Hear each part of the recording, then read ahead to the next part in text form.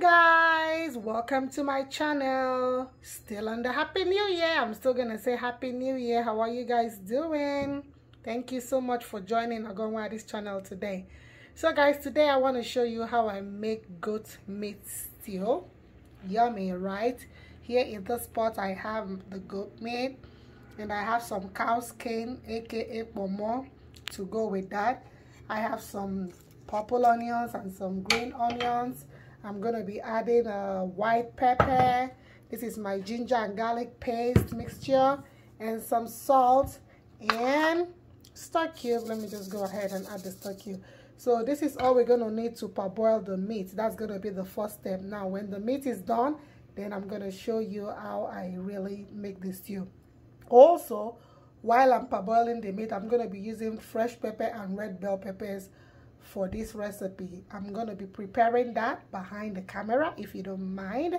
But meanwhile, I just wanted to show you the meats we're using and what I'm seasoning with. Like I said, green onion, purple onion, stack, white pepper, ginger and garlic paste, salt. And that's it. Just keep it simple, okay? So let's go. Oh, I'm just going to make sure if you have ginger and garlic paste, your homemade one, always use a dry uh, spoon. I'm almost out of it though that gives the the whole thing. You could leave that out if you want. And then you put your salt as much as you want. And the white pepper, the white pepper is not spicy, it's just for flavor. I like to use it for my stew, especially when goat meat is involved. I'm going to add more onions. Since I have cow skin on it, I'm going to put a lot of onions in it. Boiling it without water for now I want the goat meat to release its juice so that the whole spice will go into the meat and then I can now add water. So just mix it up. We're going to be cooking on high. If you have a pressure cooker, feel free to use it. But I just want to be able to control my spice and everything. Alright, so for some minutes and then when the juice is released I pour some water in it. So now at least it has reduced a little juice. I'm just go ahead and pour water. And add uh, to be on the same level. You might want to have your water to be like on the same level with the meat. Because you know goat meat don't um, especially the burnt ones it doesn't cook too fast except you put it in a pressure cooker. The other time I made it, I used the goat meat from the supermarket. That was kind of softer. But this one is from African market, so they made it look like the one we have back home. So right now, it's time to start boiling the goat meat. It should be boiling, but we should boil it like uh, 25 minutes or 30 minutes, I should say. That should be good. Alright, so see you in 30 minutes. Okay, now the meat should be soft enough. Let me see the cow skin because this is a very hard okay. That's good enough because it's gonna go into the oven. I'll be grilling it. I like to grill it. If you want to fry you can fry but I like to grill it. I'll grill it before using it okay? Okay so now I'm gonna allow you know to drain the water from the beef before I put it in the oven. Just set your oven to 350 degrees that's fine. You know I'm not so much in a hurry so the next step after it drains is to go right into the oven.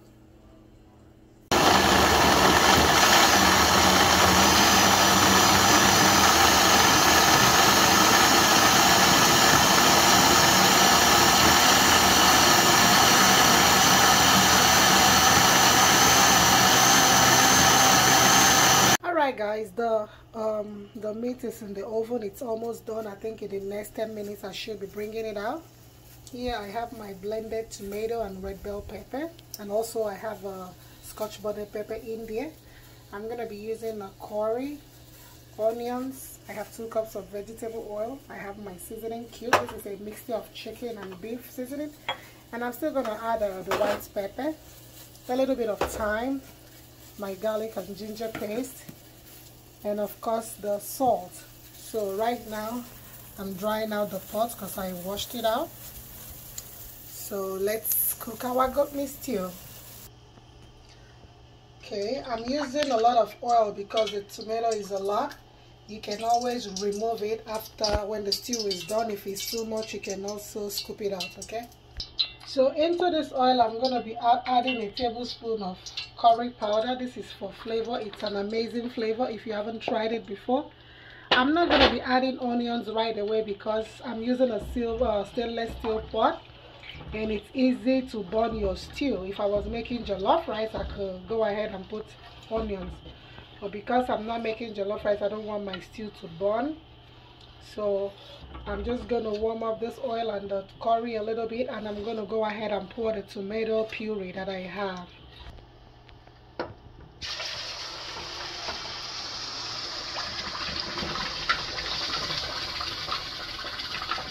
That sizzle Ooh, I love the sizzle sound.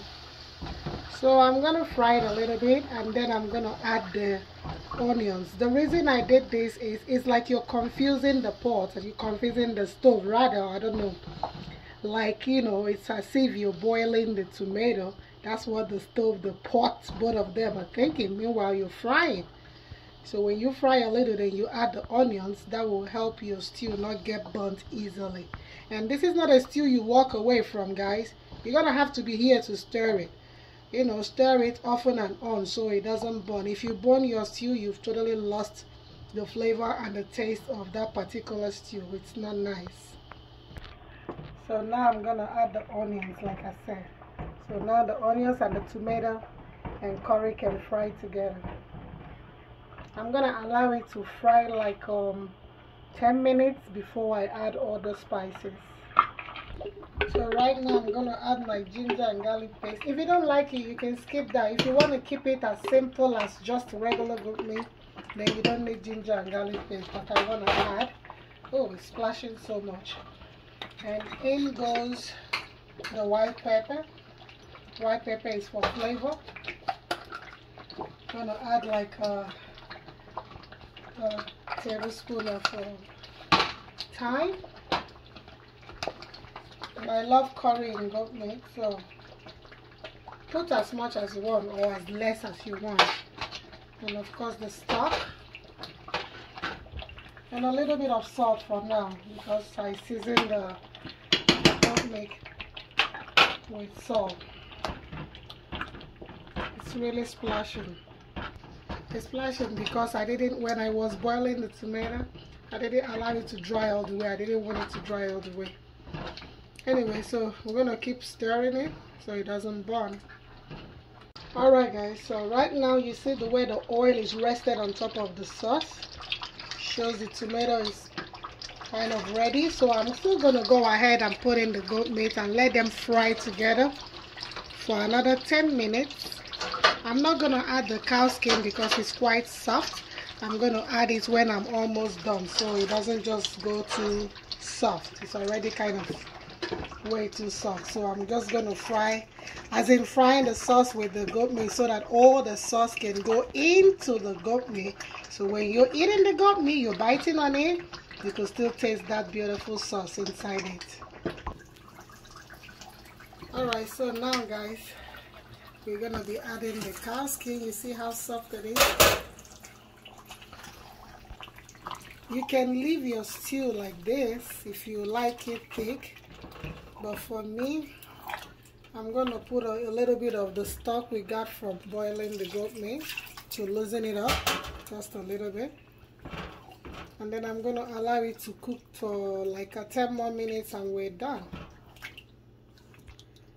when you're making stew you have to be patient. If you want it to really come out real good stew is not a 10 minutes or 20 minutes thing. You have to really have patience for it so that all the ingredients will marry each other you know? This is a relationship right here. That's what I call it.